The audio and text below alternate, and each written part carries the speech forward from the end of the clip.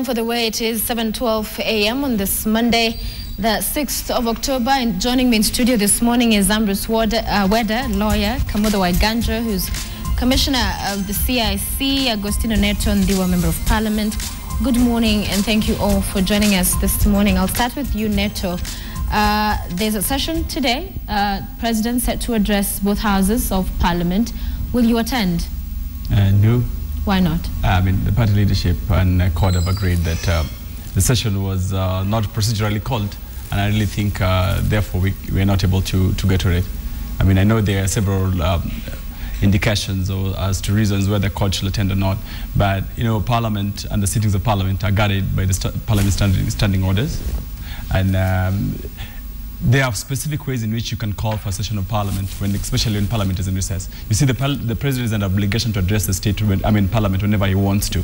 But when parliament is on recess, there's how you can get members of parliament back to parliament. And I think that was not procedure. So how are you called and what's the procedure? Good. Uh, standing order number 22 says that um, uh, their president is entitled to address special sittings of parliament, and he can address that parliament at any other time. That is the same as, provision as under the constitution, Article 132. But when parliament is under recess, article, standing order number 29 says uh, the majority leader and the minority leader and the speaker ought to consult and the agenda of that particular session ought to be very specific. And the specific, there's a specific agenda in terms of um, Standing Order 61, what really makes Parliament to be called during recess and how that should be done. And I think that was not done. That is why CORD is saying they are, they're not setting in. Weda? Um, I, I, find it very strange. I hope my member of parliament, Honorable Dr. James Omboranyi Kal, will be more reasonable than the whole pack. This uh, visit or, or, or, travel to Netherlands, it's a serious national issue because it involves the head of state and it involves uh, issues of this country, including security the people who are representing us, we should hear what the president has to say, what the president plans to do, what he has left in place in case something goes wrong, are our MPs, mm -hmm. are our parliamentarians. Now, if some of them are running away because they, they want to go and uh, play, I don't know, football or whatever, that is very sad. They should, and I urge Agostino Neto, the constitution is clear, the constitution envisaged that such issues may arise, and therefore parliamentarians must be there not only listen to the president, but air certain specific views that are in the interest of the country. Boycotting so that you go around and dance in public places is not a fair way of running a beautiful country like Kenya. Well, Gancho, what do you make of it? One, I think uh, the reality is that CORD, like all parliamentary parties, is entitled to express displeasure in whichever way they desire. I think in, in all democracies, you know, parties express displeasure, express dis displeasure in different ways. I, I, would have hoped, however, that if we're talking about procedural issues, that those procedural issues would be raised in the House. I, I think, I think that would be the more appropriate thing to do uh, for a responsible political party. But it's their right, and, and I think they don't, actually they don't even need to explain. They can just decide they don't like this sitting, they will not attend. I mean, that's that's a right democratic. Yeah. Yeah. So I, I, really think that let's let's be fair. I mean, uh, I was hoping. In fact, I, I kept some of what I was going to see uh, so that I listen to the gentleman. Um, if at all you're a country that believes in the rule of law, and you know Waiganjo here sits at the CIC, mm -hmm. which is supposed to be about constitution implementation issues, uh, I think Parliament is not just one of those houses, and I'm happy where the things that will not go because you're going to be dancing in the streets. Uh, Parliament has a way of doing its own things. That is the reason why we rise, stand the speaker, there's order, there's precedence. And the standing order is what makes us slightly different in terms of an ordinary setting of house. So that if at all, for example, nothing stops the president from addressing the nation on the issue of whatever he wants to address us on. But we ought to follow the procedure. And that, actually, that, is a, that, that is where the problem begins. So that if at all you're going to be letting the president wake up someone else as to whatever he wants, I really think that is so wrong. So why were those issues not raised in parliament, in the house? Uh, how, how, do you, how do you raise them in an illegal you're forum? I mean, the forum as it's going to be considered this afternoon is illegal. I mean, you do not proceed that way. That is not the law anticipates. So, so why, why, would you, why would you be part of an illegal process, an illegality from the word go? So you're participating in an illegality to raise an illegality. I really think that is unfair to us. So none of the CORD members will be in parliament today? Uh, it's their choice to attend or not to attend, but I think the leadership and the party has taken a position that we think this is an illegality and we should not be part of it. You talk about the illegality, but other members have come out to say it's simply because they feel what the president will be talking about today is a personal matter and they should not be summoned on the same. Do you also agree on that? I really think it's not a personal matter that the president. You see, the president can even summon. I mean, if Parliament could be summoned, so the president speak to us on personal matters. In fact, not, the president can tell the country anything he wants on the floors of Parliament. But those sittings ought to happen. When it comes to Parliament, there should be an, uh, an ordinary sitting. But this special sitting, there's a procedure of calling it, and I really think the special sitting was not properly done, and, and that's why I really think that uh, let's not raise issues. It is not because the president is addressing us on a personal matter. No, it is because the procedure was not followed, and the agenda ought to be be, be, be, be made um, straight up front. The agenda, we do not know what we're going to talk about. We can be discussing coffee, we can be discussing any other thing, but that agenda should be told.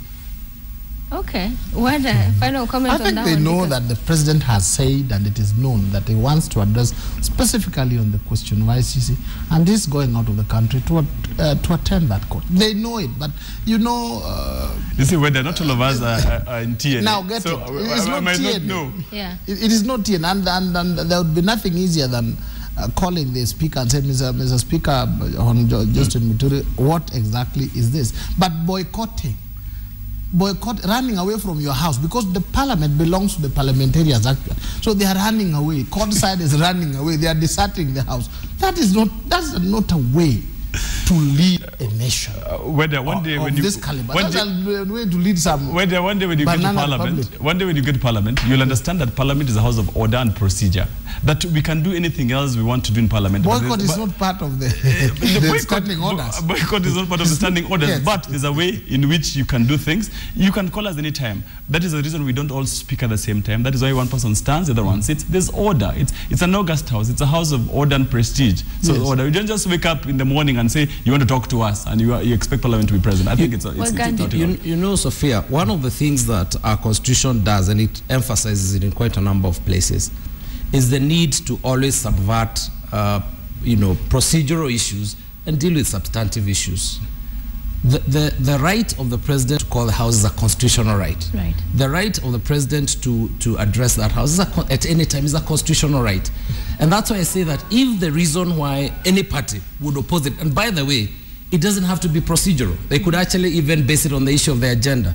But if the issue is procedural, I think the more appropriate thing would be attend the session and raise the issue procedurally. And if the procedural issues are substantive, nothing stops members of that party from even walking out if they desire to. But I think what I'm saying is let, let us, these are, these are substantive national constitutional issues. Let us not subvert them on the basis of procedural question. Having said that, I will insist any party, TNA, whoever, is entitled to express displeasure Yeah. at any time in any manner that they feel advances political. That, that is how democracies operate everywhere. So technicality versus substance. Why would courts choose I, I to find ride it on very a strange that technicality? Waiganjo should be saying it's a constitutional right of the president to uh, address parliament as and wherever he, he, he chooses to. You see, he cannot summon parliament.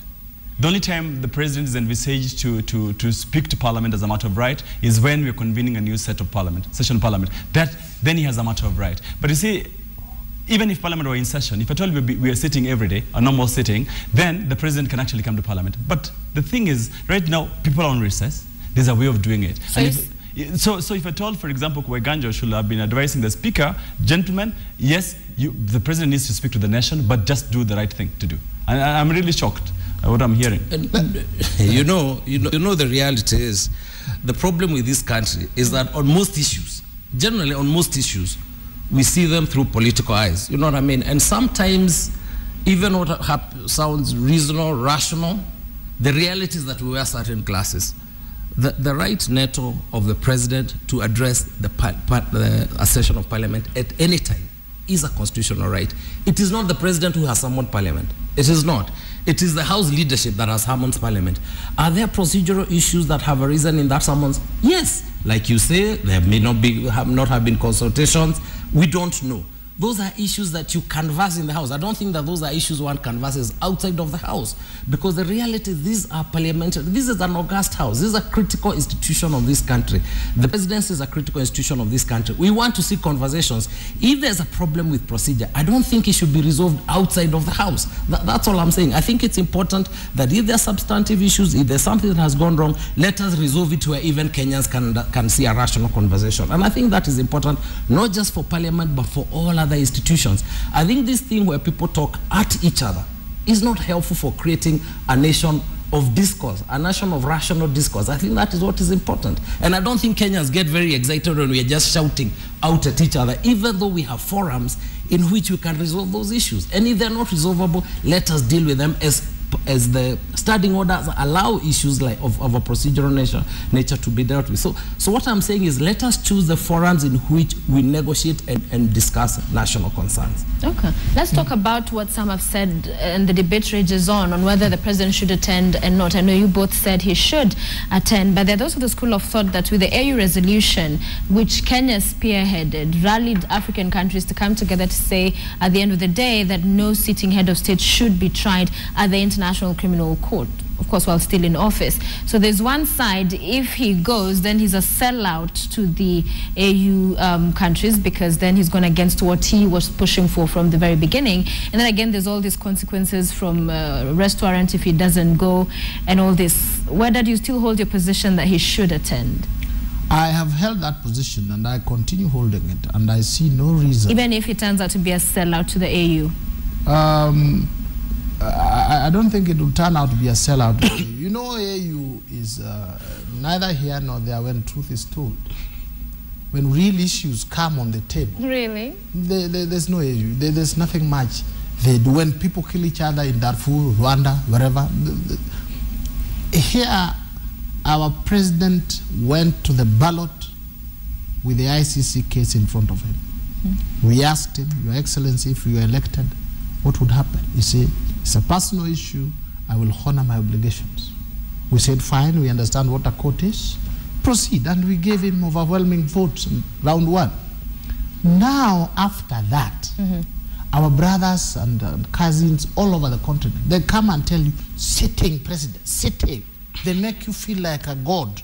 You are a small god. They forget that the deputy, the number two, already goes to that court and comes back. Now they're telling me, as a sitting president, the first president, you cannot go there. They don't want to tell us these are the consequences if it doesn't go. More so, when the case itself looks so weak, that the best way is to go there and say, please put your witnesses if it's necessary, so that we come up with it. So I still share the view as I shared that the president should go there. We should all join in prayers, and I call upon the CORD wing of the country. when your brother is going to a dangerous place like a court, you don't stand outside throwing stones and boycotting and saying, ah, you, you join and say, we pray for you, we pray for your success, please come back. When you are back, we will battle internal, but this is now internal and external. So I maintain the president should go, and he is going, and I said he will go. What if he doesn't? Today we might hear something different. No, he will go. this, this, this, is not, a, this is not a, a banana president. This is a real president that when things come to when real decisions come and requires real men or real women to make, yeah. he will not listen to the more comments or to the rest. He says, now, this is the real. You understand, the other people are shouting, don't go. But when the decision moment comes, there's always reason to the occasion. He will go and he will be back. Waiganjo? Uh, well, Sophia, two things. One is that uh, I'm one of those people who believe that we made a mistake right from the beginning when we refused to deal with these issues internally. Yeah. Because the reality is that when the deputy president of, of the Republic of Kenya uh, is in The Hague, every, sitting in the International Criminal Court, when the president of the Republic of Kenya is sitting in the criminal, is International Criminal Court, it actually is an indictment of the nation. Mm. You know, we're a country of the rule of law. We're a country with established institutions. We're not a banana republic. And, and for, our, for our leadership to be in The Hague is unfortunate. However, now that we chose that route, we actually are bound both as a matter of the, our own constitution. By the way, our own constitution even removes, refuses, uh, removes the issue of immunity uh, for even sitting uh, uh, leaders on, on, on issues of international crimes. So in a sense, that is not an issue that we can be protected by our constitution all through the Rome Treaty, which we signed. Right. You know, so, so in a sense, I don't even think it's a matter for discussion. Now, the president can choose at any time that he will not go. But as a matter of law, as a matter of responsibility, both international law and local law, he's actually obliged. And he himself has made commitments to the same court that when called upon by the court, he will appear. And he made that when he was president. So in a sense, I'm not even sure that it's a matter of should he, should he not go. We're a country of the rule of law. Yeah. Yeah. And uh, some CORD members have been very excited in the event he does not attend. Impeachment, enter impeachment. I I mean, I, I said earlier on uh, when I appeared here sometime last week that one, I would really ex- expect the president to appear at The Hague because if he's done well in terms of uh, agreeing to oblige by, by obligations of the court. And I think also as a person who believes in the rule of law, he should and actually ought to go to The Hague. And um, also, I'm happy that he's uh, dissociating himself with the pack of African leaders because then at least it, it still reassures us that Kenya uh, believes in um, the rule of law and Kenya is on its own its own playfield and and that, that's, that's a good thing for, for the continent that at least yes uh, we might have made joint some joint decisions as heads of states but on this one I really think Kenya needs to lead. Um, I said as a member of CORD that if it only didn't go it was it was good for us but I really did not expect him to go that way because if he didn't go, of course, we'll, we'll be up with an impeachment agenda. Yeah. But that isn't how you want to go. You want to you want to compete fairly. You want to win fairly in the next election where no one raises any issues. So so really, really, the president should uh, be at the Status Conference at The Hague. What about the flurry of activity we saw from Friday, I think Thursday as well, members of parliament, senators, governors, CSs, all just trying to get their documentation together to travel with the president? I think that's the most unfortunate of all things that's going to happen. I mean, How it's very unfortunate. Uh, one, that you're going to have 130 members of parliament singing and dancing and kneeling at The Hague. I really think that's that. that uh, it's totally uncalled for. It, it's a waste of public resources or it's a, it's a waste of private but they have said they're using their own Uh, money. they cannot afford. I said this yesterday somewhere. Uh, half the colleagues are going to the Hague. I mean, half, you know, um, not everyone else can afford to fly. It's about 300,000 shillings, uh, and you cannot expect many of them to just expect to fly up and about. I really think it's unfair to waste, to put public resources in that kind of use. Whether are you I- fast traveling? Let's No, start no, no, no, no. I, I think uh, that court is very small, smaller than this studio. And they don't allow uh, lazing around. So those people will be walking around the streets doing window shopping. They are the same people are telling the president not to go. When the president says no, as a commander in chief, I will go. Then they are escorting you, hoping they'll get a little time near the president to, to, to, to, to cry louder than the bereaved. That thing they are doing, they should not have done it. Really? But the worst part of it, it is dangerous. This is a critical moment when our president is going to a court. He's not going on um, just an ordinary state function. We need most, if not all, our MPs here. A time may come when we have to take a quick decision as a country. It is taken through parliament. Now, when they are all loitering around in, the Netherlands, surely, surely, we must think rationally as a country. That I don't support. A few, they should have allowed a few. They should have sat down and said, okay, we are handling Form a committee of solidarity. say, so, so and so you represent this region, so and so you represent this region, so and so you represent this. region. So the 20 of you keep the president company. When he comes out of the court, you smile at him, you do this. But some who have never even greeted the president, the president doesn't even know their faces. now they are going to loiter all over. No, I don't think we are acting rationally. There, I don't support. what do you think about it? I it? don't know. I, I, I I think um, the problem with this country sometimes is that even on very serious issues, you know, we, we enjoy the drama. Um, the reality is that the reason why the, the, the president is before that court, a lot of it is the failure of parliament to pass legislation that would have avoided this process. I, am not sure that the way you, you determine whether you support the president is going to the Hague. I mean, there are other ways in which you can show the president support. I mean, there are projects, there are issues that the president has an interest in, which parliamentarians have not been pursuing. I mean, if you really want to show your support for the president, that is where you, you, you assist. That is because that is your role as a legislator. Mm. Th- they should be on the forefront on, on ensuring they're pushing the president's agenda with the same enthusiasm that they are now going to the Hague. And the problem with it is that as much as it is, of course, their private right, and I, I, I mean, I obviously hope that they are using uh, uh, private money. money.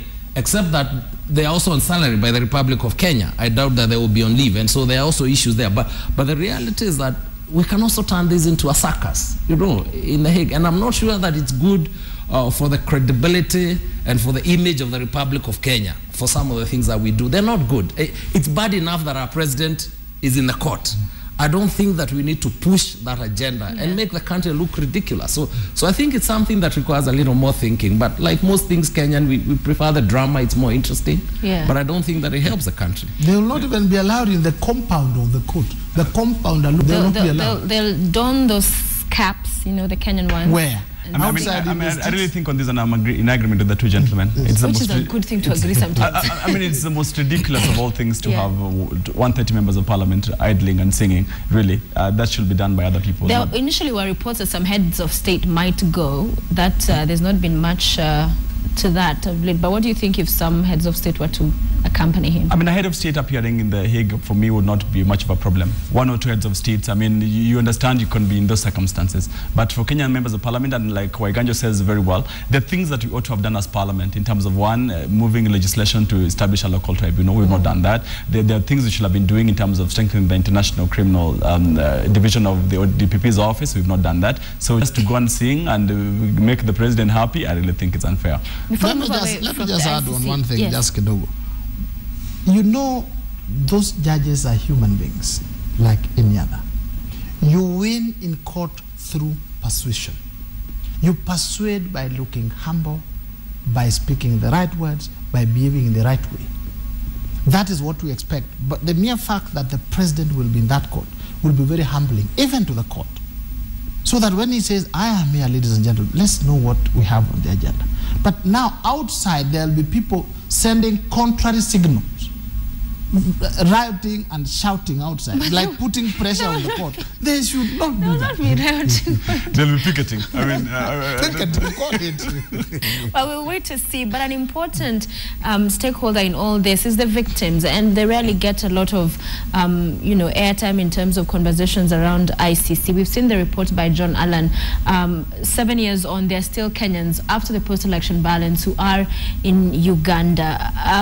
What with these cases seemingly crumbling, that of the DP and co-accused, and this one of uh, the president, the prosecutor coming out to say they have no evidence, they need to rebuild it all over again.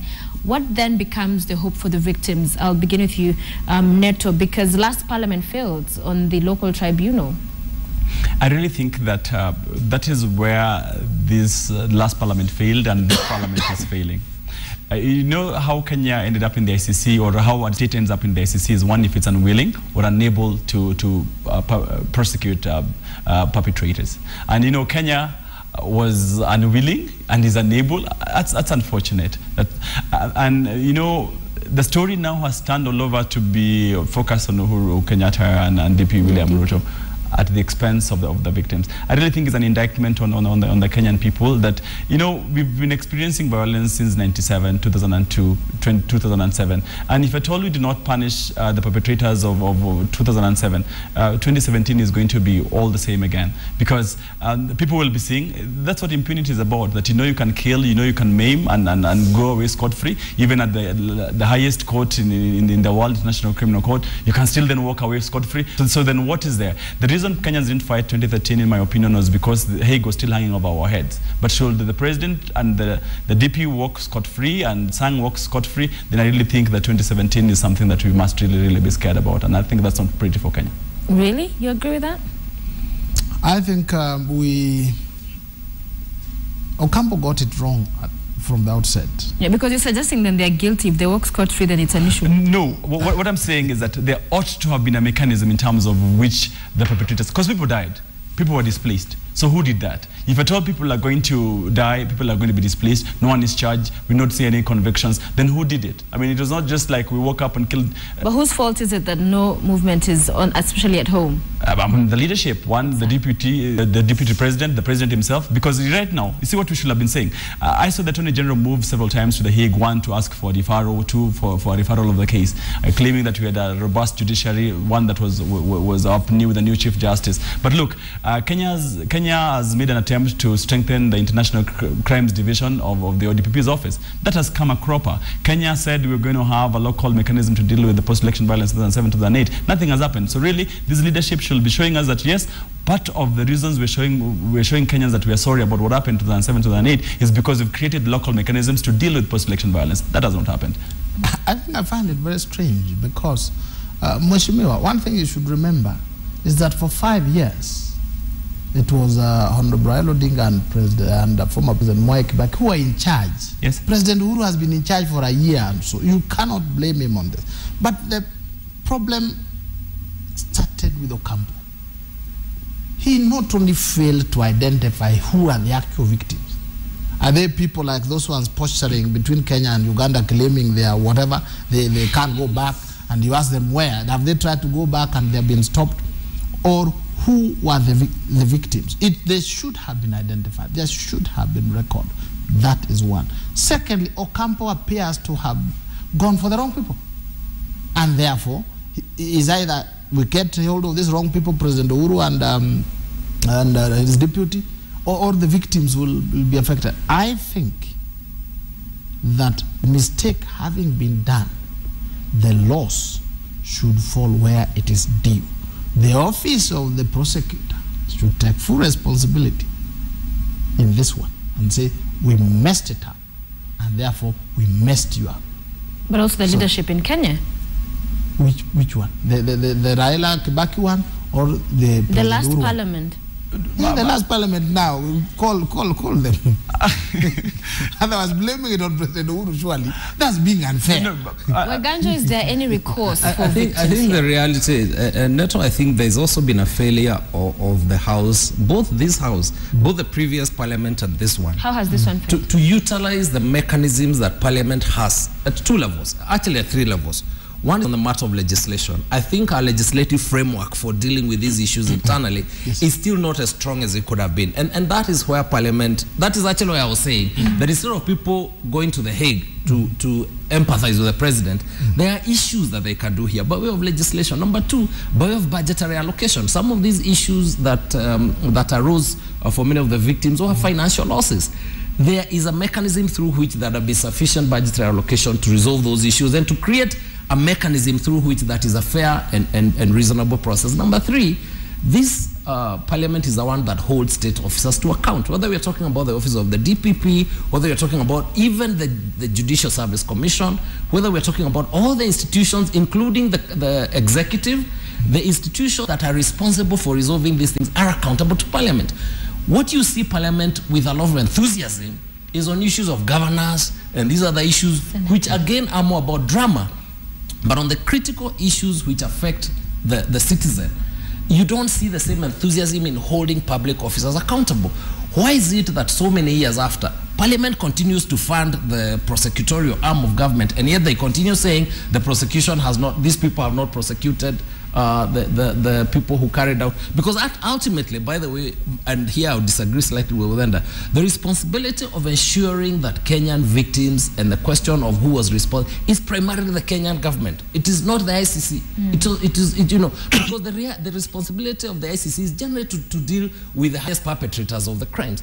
The other middle level and low level um, uh, actors our own system should have dealt with them. The fact that they have managed to get away scot-free is actually the failure also of parliament, which holds all state organs, all state officers responsible. So in a sense, all parliamentarians should own the problem and say we have failed also in, in Well, protecting ma'am, Kenyans. You own it? It, it- it says a couple of good things there. Uh, one, um, and I'm happy that uh, half the majority were taking the president, uh, members of his party, uh, who should not have been dancing there, but instead engaging in sufficient legislative issues. Yes, I agree that Parliament has failed. One, uh, one of the things that they did is to bring a resolution to withdraw Kenya from ICC. That again was was madness at the highest level possible, because then uh, one, it even just does not mess up uh, the Uhuru's case and the DPP's case, but also just shows that we are not interested in, in, in issues of post-election violence. But the second thing is that is a policy issue, and that is why I blame uh, President Uhuru Kenyatta and, and the DP.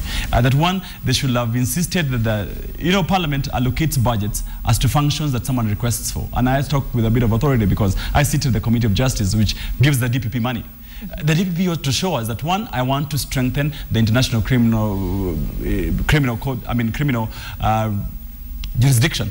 He did not request for that kind of money. So how, how do you give someone money and this policy does not does not reflect that he wants to do it? So one, as a matter Neto, of Neto, yes, right there. The responsibility of parliament is not for us as state officers to come and tell you what we need, and you have no view. There is a responsibility of your committee to be able to say one of the issues in which the DPP's office are not dealt with this issue is the the the, the, the prosecutions around the PEV.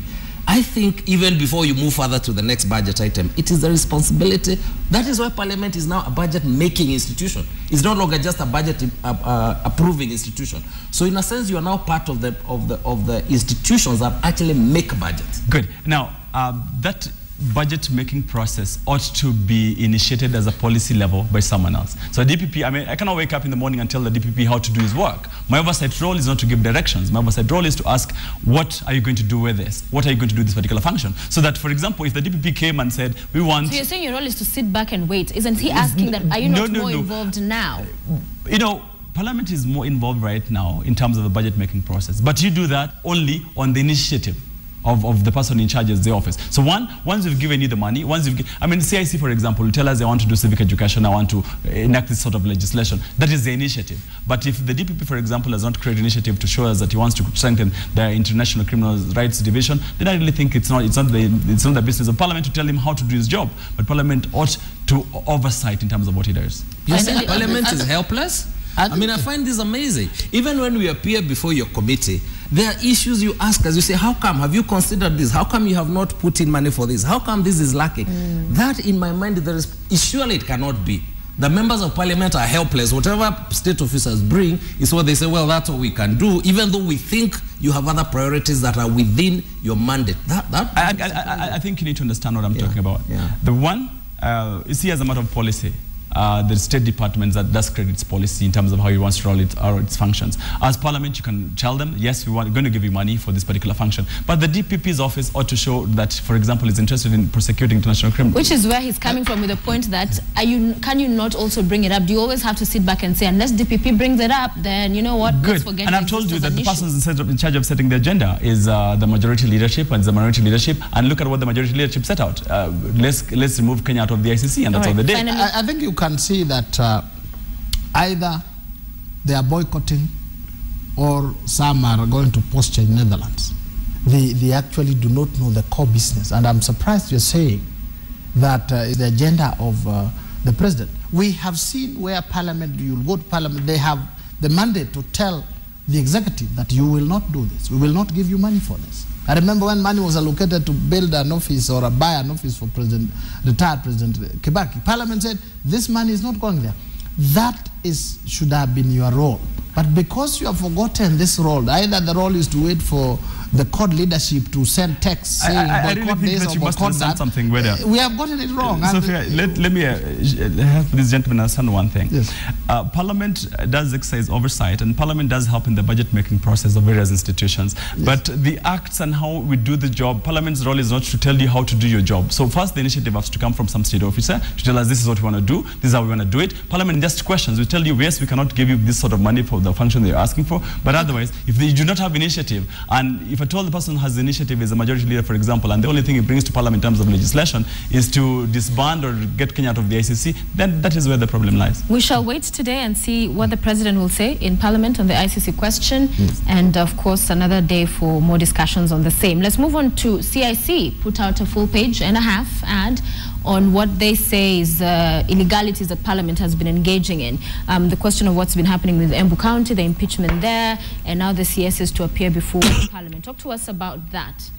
I, I think, Sophia, one of the one of the concerns we have as an institution is that if you look back at the assault of the constitution in the, the first generation assault on the constitution in the 60s, the institution that led the assault on the constitution was the executive. It was a powerful executive. It ended up being a very autocratic uh, executive.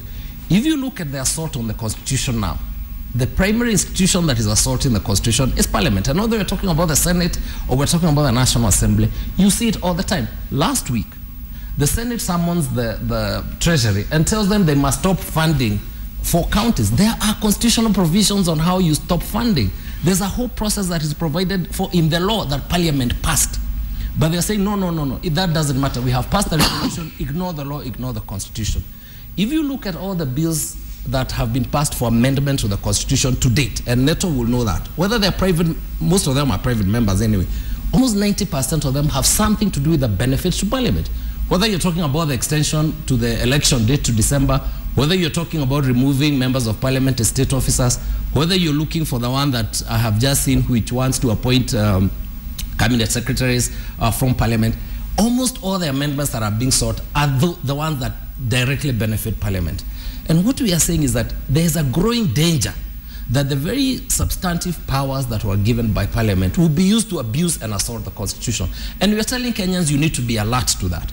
The, the, assault on the judiciary, where members of parliament say, you know, we will not obey court orders, we are going to disconnect to the judiciary, we find that unfortunate. And by the way, we will be the first institution to say that when it comes to the way that the judiciary uh, issues orders against parliament, the judiciary needs to be cautious.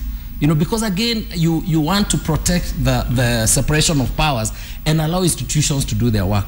But even if the judiciary makes a wrong decision, that decision is binding. It doesn't matter whether it is parliament, it doesn't matter who it is, that decision is, is binding. If we allow the possibility that anybody can decide whether or not this is a good order, then who else is entitled to that privilege? Are other Kenyans entitled to that privilege or is it just parliament? So what we are saying is that we need to be careful. We need to be alert to the fact that parliament is starting to abuse its powers, powers given by the Constitution. And that cannot be good for a constitutional order. Yeah. Um, um, uh, Sophia, I, I'm happy that you brought Waiganjo here because one, I think the CIC is uh, getting um, very excited about bashing Parliament, and I think it's an unfortunate thing. Uh, the, the date is paid, but I'll come back to it. But let, let's first ask: We've watched presidential appointments which go counter to the Constitution presidential appointments that uh, have no regard to values that are expressed in the Constitution. The CIC has been silent. We've watched several times when the executive, for example, has flouted the Constitution, and CIC knows it. They, they're always silent. But when it comes to issues parliamentary, they are always very Give quick. us an instance where they've done that and the CIC has been silent. I mean, I'm just giving you the, the issue of appointments, for example. That- that- that- that- Let me say something about that. You know, we have a constitutional process. The president nominates members, proposes members, and takes them to parliament. Parliament sits and affirms those appointments. Parliament. Now, Parliament, having said, and by the way, in those committees, generally the appointments, the acceptance is bipartisan. Even the latest appointments of the ambassadors and everybody, they sit in committee. They look at those issues. They decide it's okay. They go to the House. They vote. And then they turn around and say, why is CSC not stopping us? Hello? It is, that is, there's a constitutional responsibility. And once that constitutional responsibility is, is carried out by parliament, if there's a failure, the failure again is parliament. Uh, and, and, and, and you see, the way is very easy at, at, at, at, at getting back to Parliament again. The President, for example, um, appoints or, or nominates for appointment only people, for example, uh, that he thinks are, are prudent at particular points, disregarding the values. And, and uh, CIC has never bothered to, to advise the President. But anyway, because he, he still blames Parliament on this, let me get to the latest. Uh, No, but Neto, do you, do, you, do you think that the constitutional responsibility to nominate those officers through parliament, you don't think that that is important? You don't think that that is a forum in which actually the, the parliament would insist on those values? And, and, and, and you see, unfortunately, uh, if at all the president, for example, has seen that uh, there's a limitation on the part of parliament, because I mean, parliament, as, as, as usual, there could be a limitation in, the, in, in terms of, uh, in the, on the part of parliament, in terms of uh, uh, exercising its, its rights to, to those appointments. The president then ought to be the one in charge of helping uh, the, Ken- the Kenyan nation achieve its values. But, but, but let me get But to the point. When it's loaded by your own members, that's where I'm getting lost. Then how then is it I mean, the- the- it's, it's because it's because then you have you, have- you have some members of parliament who then do not appreciate, for example, that uh, they're supposed to be checking the executive. See, this, this, this now is not a problem of, uh, of the whole legislature, but a section of the legislature that then doesn't understand that it's supposed to be checking the executive. But anyway, le- le- let me get to this point that, uh, that uh, the CIC put up a paid up advert on. You know, as the Constitution Implementation Commission, Kenyans have been having a small problem. A, mem- a member of the parliament, parliament's job is the art of representation. We're supposed to be responding to the issues my constituents, for example, raise. Uh, why is there no bridge in, in, in Ndhiwa? Why, why is the, the road washed away? That sort of thing.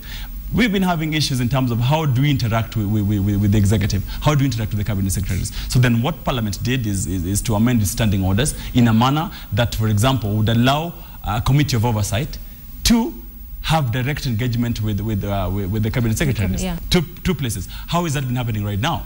That has been happening right now by members of cabinet secretaries appearing in committees and then chairmen of, of, of, of committees of parliament, members of legislature responding as if the members of the executive. There's a problem there. So you want them in What, what has? Parliament done? Parliament is seeking for a method of having a committee of oversight of, of, of, of the House where at least 16 members of Parliament or 349 could be present, and then you have your, the issues of representation addressed sufficiently. CIC has a problem with that. CIC thinks that, for example, Parliament now wants the cabinet secretaries to be part of, of, of, of, uh, of, of the legislature. But CIC has no problem when uh, the chairman of committees respond to issues they do not understand that are an executive function. Let's hear from Weda before you comment. I, I think um, if you look at the role of the CIC, unfortunately, they were not given any powers to implement what they think is right.